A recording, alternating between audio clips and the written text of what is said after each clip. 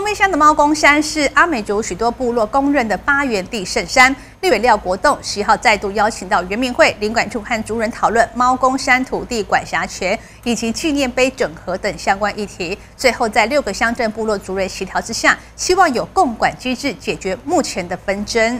继六月五号，立委廖国栋服务处前往阿美族圣山吉朗阿山会勘后，十一号再度邀请原民会领管处以及族人共同讨论土地管辖权以及纪念碑整合等相关议题。目前将先朝向先行设置部落共管平台的方向来处理。部落族人希望能够朝着共管的机制来解决目前各方的纷争。不管怎么样，纪念性的时候一定要。一个单位共治共管，否则的话，当一个单位当一个什么没有办法，一个单位然后大家来配合，然后我们做好，一定会做。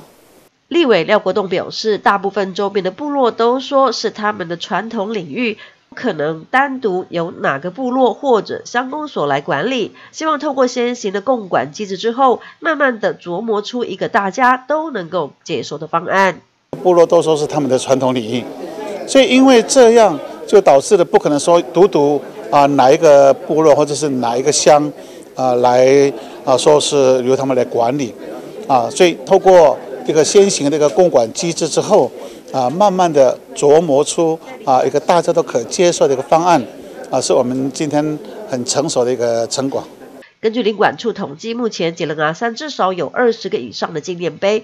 横跨六个乡镇部落族人不定期前往祭拜祖灵。原民会指出，未来吉隆阿山规划传统领域将涉及二十个以上的部落权益，建议以以共管共治前提进行讨论。林务局则表示支持，后续会协同原民研拟机制。